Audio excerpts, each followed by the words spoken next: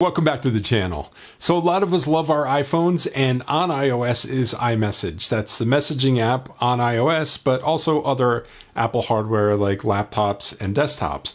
So if you're using your Mac computer, you can send and receive iMessages without even touching your phone. Now, what if you love your iPhone, but you use either Linux or Windows, or you have a secondary Android device, or you know you just want to send and receive in the web?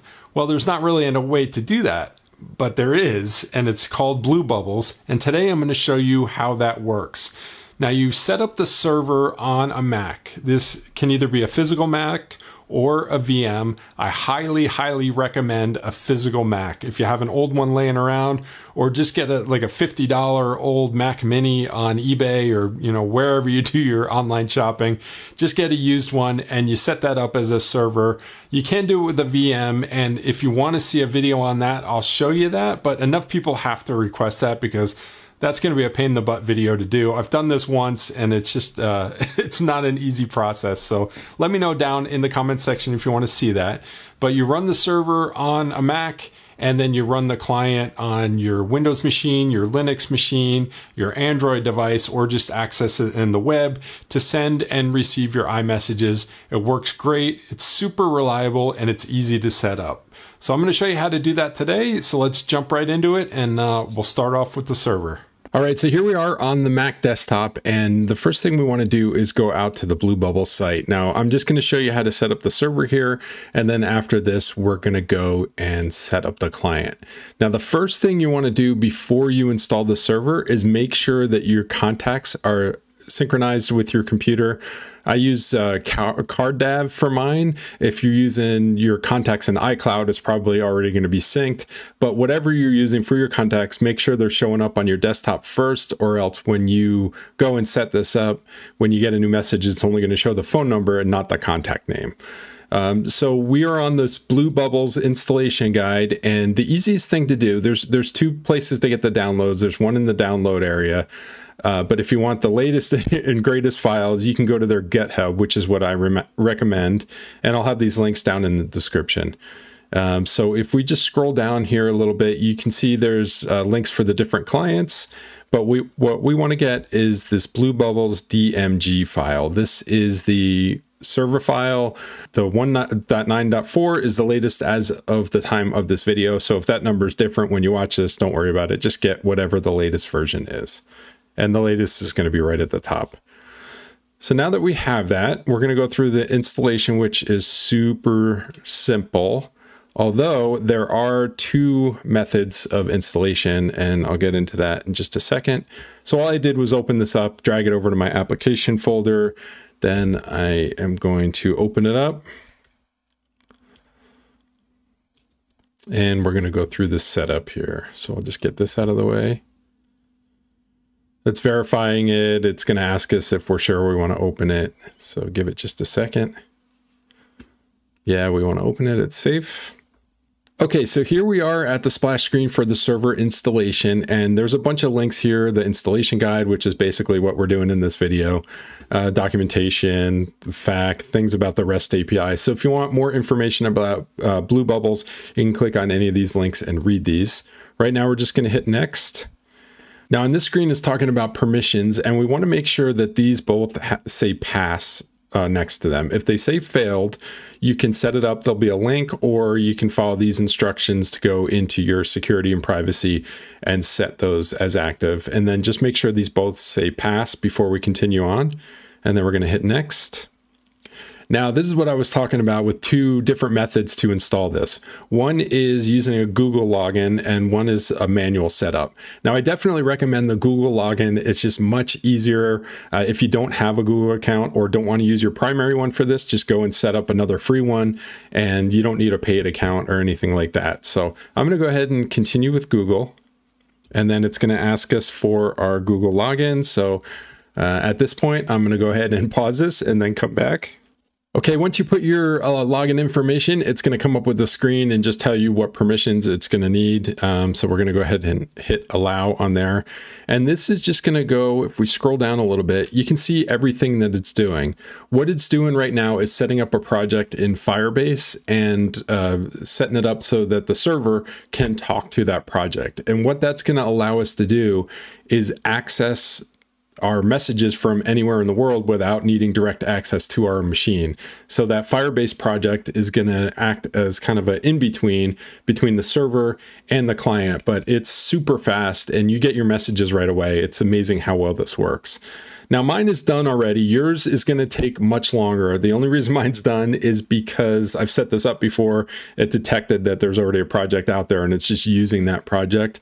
Yours is going to take longer. So just be patient. As long as you see things happening here, uh, everything's good. And when it's done, it's going to give you this double check mark here and the next button is going to be lit up. So just be patient, wait for that to finish. You may need to walk away and get a drink or something, come back and then hit next. Now this password is something that we're going to need to access the server every time we set up one of the clients. So make sure that you put something you'll remember here. And then once you enter that, make sure you hit the little save icon here to save that in there. Um, the next option is for the proxy setup. I recommend you just leave this as default. You can go in and set up these different proxies, but if you leave Cloudflare, which is just fine, it's going to set it up automatically as part of this installation. So we're going to hit next again. Now, this private API setup is completely optional. You do not have to do this for this to work. It does allow things to work a little bit more seamlessly and quicker, uh, especially when you're dealing with media but it's it's completely optional. The downside of it is that you need to have SIP disabled on your Mac. Uh, if you don't know what that means or you don't uh, want to do that, then just skip right past this. If you want to know how to do this, I can put up a video on how to disable SIP. Just let me know if you want that. But you do that need that disabled for this to work. So if you want to use this and you have SIP disabled, I usually just do the private um, API, the message private API and the FaceTime private API. It's going to go ahead and launch those two applications here. Um, and then the FaceTime calling is experimental. I usually leave that off. I haven't really messed with that too much. So if you try that out and it works, let me know down in the comment section if you got that working. Uh, once you have those checked or you decide not to do this, go ahead and hit next. Uh, there's a couple of options here. I recommend choosing start with Mac OS and keep Mac OS awake. That way the server will always be running and you won't have to worry about uh, the computer going to sleep and you not being able to send or receive your messages.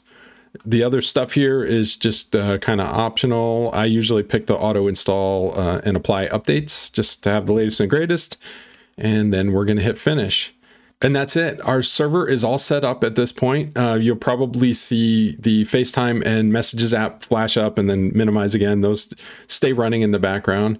But this gives us our server address, our port, the email address associated with it, and the computer ID associated with it. And we don't need to do anything else on the server now. We just need to leave it running, hooked up to the network, either wired or wireless. So now I'm going to jump over to the desktop and show you how the client uh, installation goes. Okay, so here we are on the desktop, and in this case, I'm on a Linux desktop. I wanted to show you on here because the installation is a little bit different than it would be on Windows or even Android, but the configuration of the client is exactly the same, so I thought I'd show you kind of the most challenging or the one that people aren't used to the most. So we're on this GitHub page again that I showed you in the last section, and for the clients, we have the Android, which just takes you to the, the Play Store the Windows, which takes you to the Windows Store, and we have the one for Linux and then the link for the web.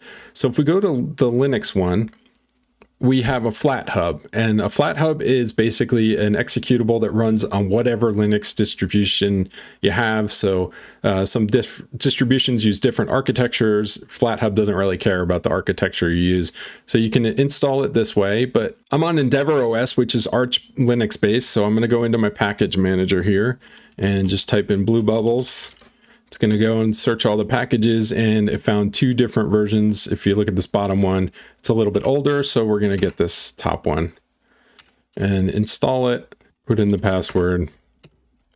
Okay, and that's done. So now this part is exactly the same on whatever operating system you're on. We're going to launch up Blue Bubbles And we're going to go through these steps. This is just obviously the welcome screen here. I'm going to hit next. And this has the server setup instructions. We can skip that because that's what I walked you through in the previous section. So if you want more details, you can click on that. But since we're all set up and the server's running, let's go ahead and hit next. And then here we're going to log in either the manual entry if you chose to go that route or log in with Google with the same account that we used to set up the server. So it created the Firebase server out under that account. We're going to go ahead and log in with that account. Okay, so once you log in, it's going to come to this screen and it's going to ask you to allow these different permissions.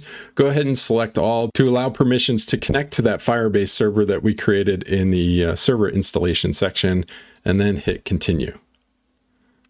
Now this is the password that I told you not to forget uh, for the server. So go ahead and type that in, whatever it is that you chose.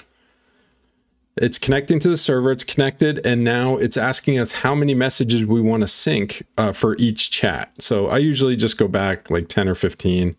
I'll just go back 10 messages.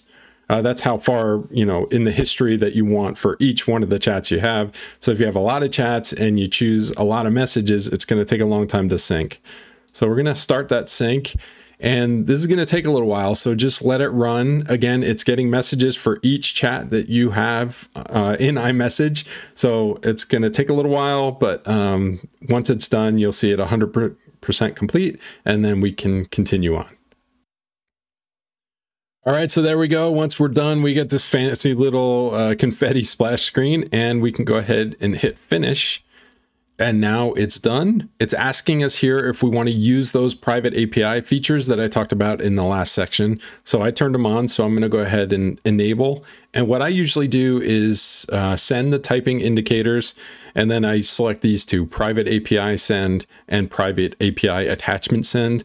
Those just um, allow things to communicate much quicker. It makes a huge difference when you're dealing with media. So this uh, attachment send um, makes a big difference. And the private API send, uh, it really does make a difference with how fast you send and receive those messages. So once you have those selected, you can just hit back here and back on this one. And there you go. You have your uh, messages. I'm going to go ahead and set a dark theme just because I like dark themes on everything. So we'll uh, select that and then we'll go to dark. All right, and we're all set. We have our uh, iMessages. We can send and receive them. We can long press and do you know, the quick replies, the heart, thumbs up, thumbs down, just like you were on an iPhone. It works extremely well, especially with those private API features. It's almost instantaneous uh, getting the messages and sending them. And it's kind of interesting when you send a message, you hear your phone uh, play the sound as if you just sent it from the phone. So it works really well. And I've not had a problem with it on Linux, Windows, or Android. I haven't used the web that much, but it works on the web too. So if you're on a device you know some a chromebook or something and you want to access your imessage you can go out to the website on your chromebook and send and receive imessages from there as well works fantastically well if you have any questions or comments let me know down in the comment section below again if you want to see that tutorial on how to set up the mac in uh, a, a, VM, which I'm almost hoping you don't because that would be a pain in the butt video to put together. But if you want to see that, if enough people want it, let me know and I'll put that together so you don't have to have the physical Mac. Again, I recommend the physical Mac, but you can do it in a VM. Thanks so much for stopping by. If you like this video, please hit that thumbs up. If you really liked it and you haven't subscribed yet, please consider subscribing and I'll see you in the next video.